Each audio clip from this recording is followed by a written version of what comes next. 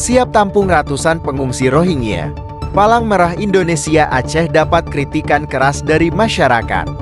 Jumat 5 Januari 2024, pengurus PMI Aceh Musni Hafaz membenarkan rencana pemindahan ratusan pengungsi Rohingya dari Gedung Beli Suraya Aceh. Musni mengungkap apabila memadai, Palang Merah Indonesia Aceh juga akan menampung pengungsi Rohingya yang ada di Aceh Timur dan Sabang. Namun, keputusan Palmerah Indonesia Aceh yang siap menampung pengungsi Rohingya justru mendapat kritikan keras dari masyarakat. Tak sedikit masyarakat yang menolak PMEAC menampung ratusan pengungsi Rohingya.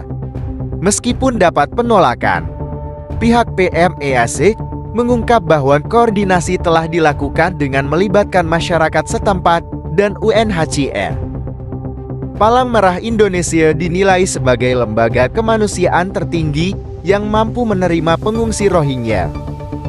Menurut Musni, apabila Palang Merah Indonesia Aceh tidak bisa menerima pengungsi Rohingya, maka tidak ada lagi yang bisa menerimanya. Dikarenakan para pengungsi Rohingya telah ditolak di berbagai tempat. Selain itu, Menko Polhukam R.E. Mahfud MD juga mengungkapkan bahwa dirinya sudah mengeluarkan instruksi agar para pengungsi Rohingya segera dipindahkan dari tempatnya saat ini. Sehingga insiden yang dilakukan oleh sekelompok mahasiswa beberapa waktu lalu tidak kembali terulang. Calon wakil presiden nomor urut 3 itu pun mengklaim bahwa pemerintah akan segera mengembalikan para pengungsi itu kepada pihak UNHCR dan PBB.